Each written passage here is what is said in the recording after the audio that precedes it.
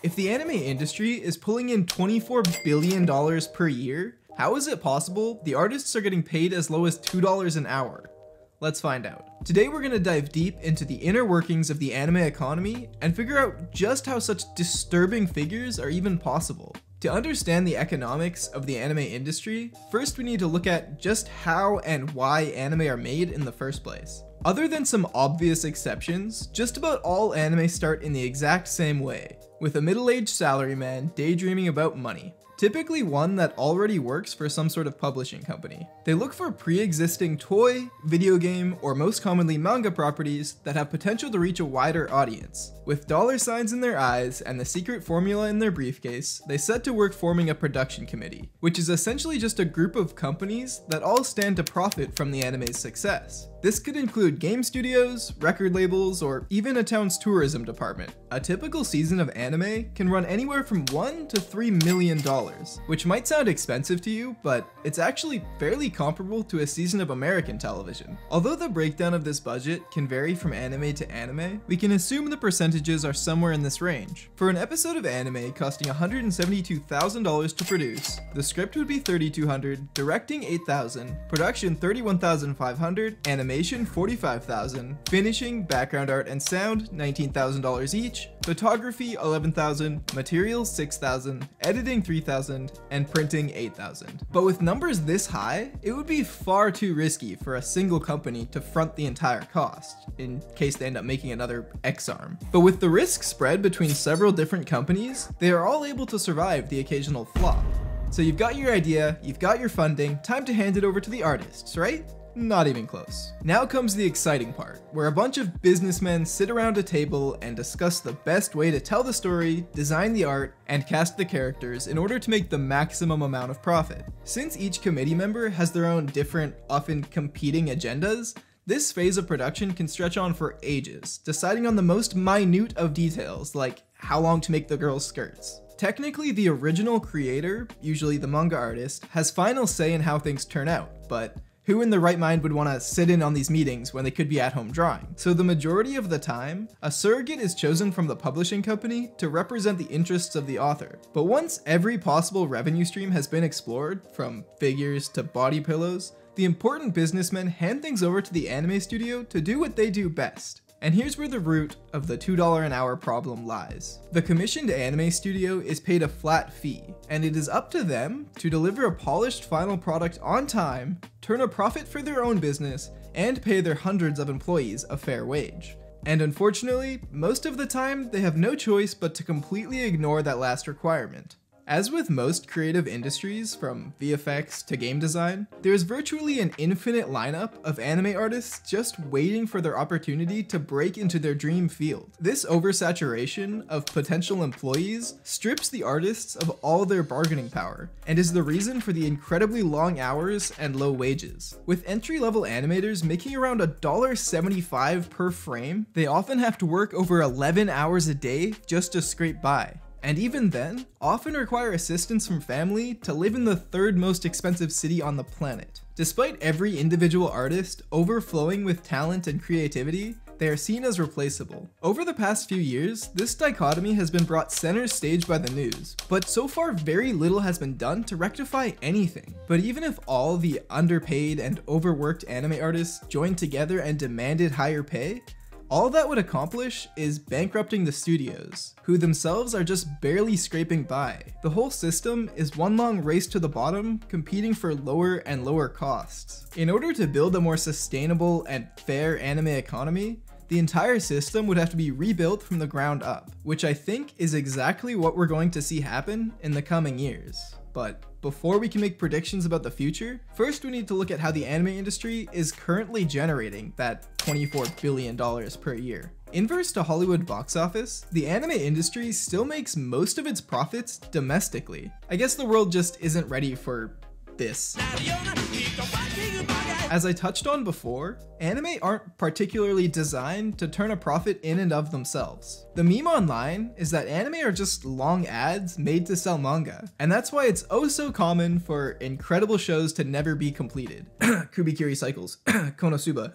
but I never fully understood just how true that was. When watching TV in the West, if anyone actually still does that, there are these things called commercial breaks, which annoyingly get in the way of you finding out whether or not they're gonna love or list it. This is because the channel that you're watching has paid great sums of money for the rights to broadcast a show, and need to recoup their investment through advertising. Well, if any of you 90s kids have ever stayed up way past your bedtime flipping channels just looking for any alternative to going to sleep, then chances are you've stumbled on the paid programming channel, which ingeniously thought to themselves, hmm, why don't we just skip the content and only run ads. And thus the ShamWow was born. I can't live without it. Well, with some obvious exceptions, this is exactly how anime works. Rather than the TV channel paying for the rights to air, say, Horimiya, Horimiya pays the TV channel to air their show. Let me repeat that. The anime producers pay the network to run their show,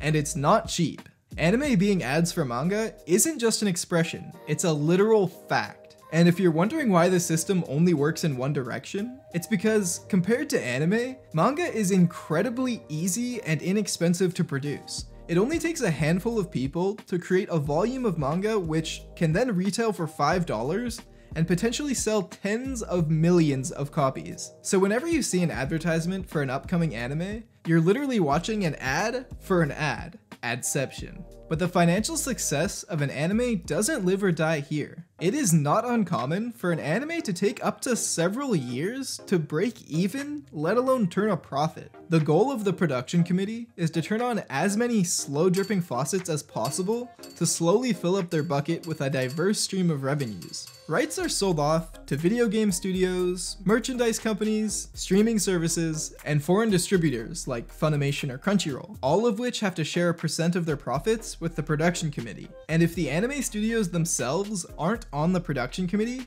they aren't seeing a dime of those profits. It makes little difference to the studio's bottom line whether their work has Demon Slayer levels of success or Ex-Arm. The only creatives that see a cut of the profits are the director, head writer, original creator, and sometimes the OP artist, who all receive varying amounts of royalties. Surprisingly, one of the most lucrative revenue streams are DVD sales. And if you don't know what that is, Ask your grandma. These relics of a bygone era are sold with 2 to 4 episodes per disc and will easily set you back somewhere between 50 and $100. Yes, you heard me right. To own the entire season of your favorite Yuri show could cost you over $500. Now you might be asking yourself, who in their right mind would spend that much money? But this is anime fans we're talking about. In fact, the prohibitively high price is the very reason why DVD sales are so important. In the past, they've tested lowering prices, but it only led to a marginal increase in sales, which makes perfect sense since their target market are hardcore collectors. The utility and price of the thing isn't what drives them. The DVD market works much like gacha games. It only takes a few dedicated fans, known as whales, to fund the entire game, so that the rest of the user base can enjoy it for free.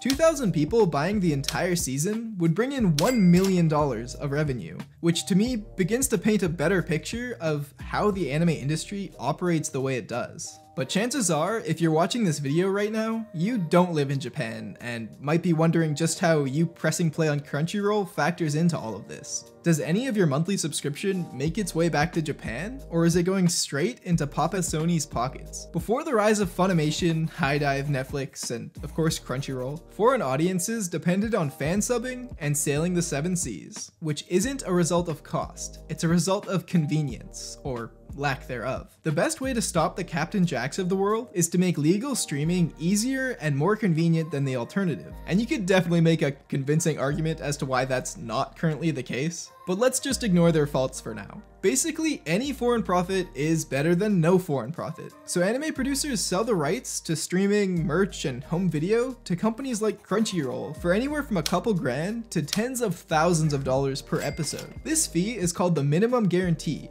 which basically transfers the risk off the anime producers and onto Crunchyroll, who pay the MG up front before making a single penny. If Crunchyroll manages to recoup the MG, any further revenue they make is split with the production committee. So yes, technically the money you're spending on streaming and merch is supporting the Japanese anime industry, but of Crunchyroll's 70 million users, only about 3 million of them are paid. The rest are just streaming anime for free while sacrificing a few minutes here and there to watch an ad. Let's assume Crunchyroll makes a high CPM of $10, meaning for every 1,000 views an ad gets, Crunchyroll makes $10. With 4 ads per episode of anime, a smaller anime getting 20,000 views would only make Crunchyroll $800, which wouldn't even cover the MG, let alone the subtitling, hosting, and marketing, and don't even consider the idea of making a dubbed version. Bye!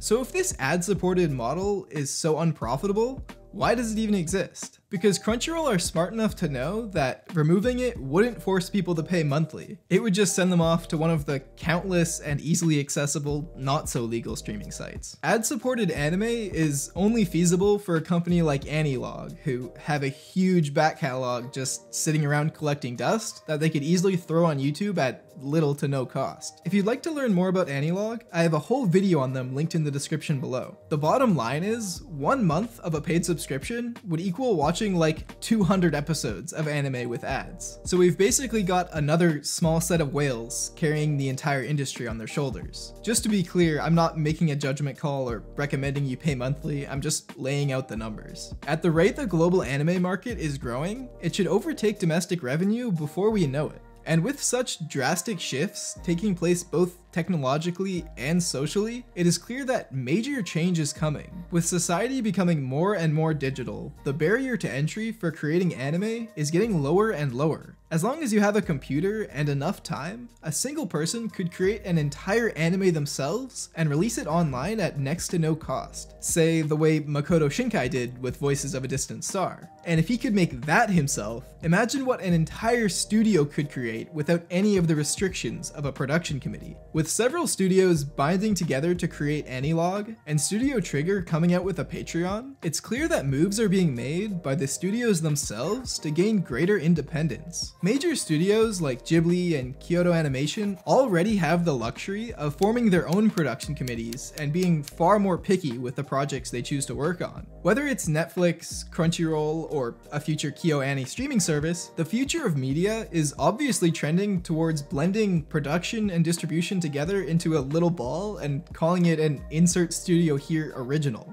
and I don't see why anime would be any different. This system also has a ton of concerns and drawbacks, but Overall, I think it would provide a much more stable economy where productions aren't just closing their eyes, crossing their fingers, and hoping enough people buy their DVDs. Now, I don't know about you, but anime has affected my life in such a meaningful way, and I want to do everything in my power to preserve this incredibly unique and artistic medium and support the artists actually responsible for creating the anime that have brought me so much joy. It feels to me like the industry is heading towards a fork in the road, and all we can do is hope that it goes down the right path.